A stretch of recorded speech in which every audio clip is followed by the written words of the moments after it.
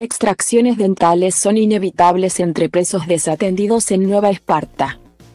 Familiares de los privados de libertad dentro de los centros de detención preventiva, CDP, de Nueva Esparta manifestaron que uno de los problemas de salud que afrontan con más frecuencia los reos son los bucales.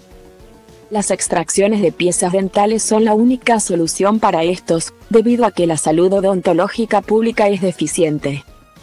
Por una ventana a la libertad. María Romero, familiar de un privado de libertad del CDP de Ciudad Cartón, relató que es común que los presos se saquen los dientes entre ellos. No hay servicios de odontológicos gratuitos. Las muelas y dientes los pierden porque no pueden hacerles un tratamiento de conducto. Simplemente, la solución es sacarlos, ya sea en la celda o en el servicio del Hospital Luis Ortega.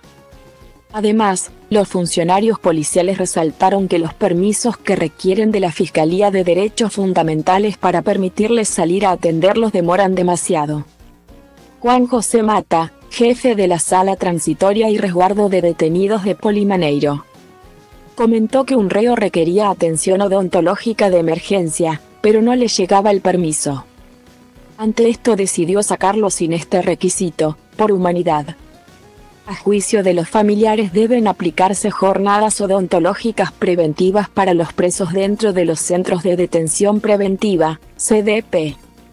La gobernación de Nueva Esparta debería usar el vagón de odontología del tren de la salud para atender a los presos.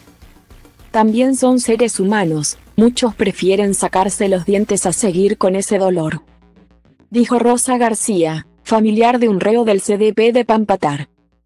Además, luego de la extracción dental requieren antibióticos para curar la herida. Muchos toman los que les dan sus familiares, pero de manera incorrecta, con las pastillas que tengan, sin ningún control.